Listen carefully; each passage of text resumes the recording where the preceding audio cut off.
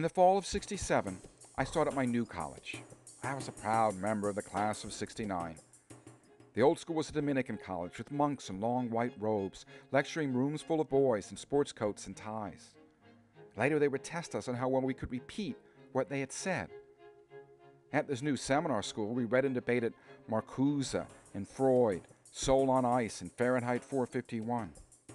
Instead of boys in ties, they were worldly wise guys with long hair and flashy jewelry, along with intellectual girls not wearing bras. I wish I could communicate all of that, any of that. I wish I could remember it. I know everything shifted at the beginning of October. That's when Linda Fitzpatrick was murdered in the East Village, blocks from where I lived. It's one of the markers of my life. Her and her man for the night, Groovy, were beaten to death with bricks by two African American men.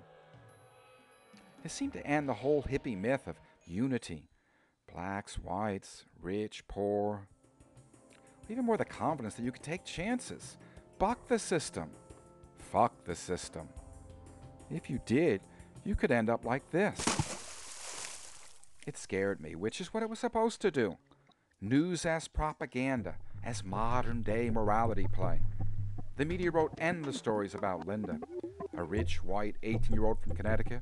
Her father was a wealthy importer, her mother, a former Powers model. Many of the articles mentioned Linda wasn't as attractive as her mother. Linda attended the Greenwich Country Day School. Friends said she was a quiet teenager who spent much of her time drawing pictures, including comic greeting cards for her family. Her parents said she was totally normal, but they had no idea how she spent her time in New York.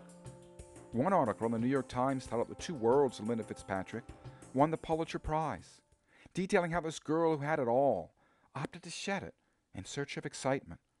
The director, Milos Forman, wanted to make a movie about Linda, but no studio would back him with money.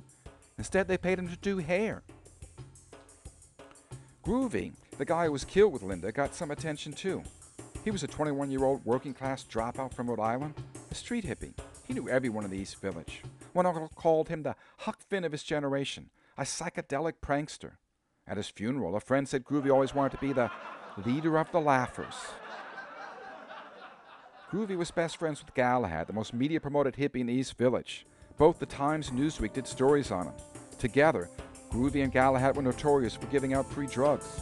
They ran an open crash pad on 11th Street. Anybody could stay there. There's hardly anything written about the two murderers, Donald Ramsey and Thomas Dennis? At the time, I didn't care.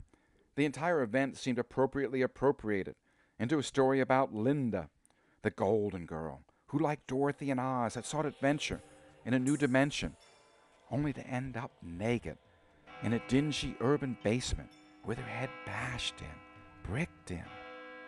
The media used Linda's death to proclaim the death of the entire era, which didn't please me. I'd arrived late for the party, was now being told it was over.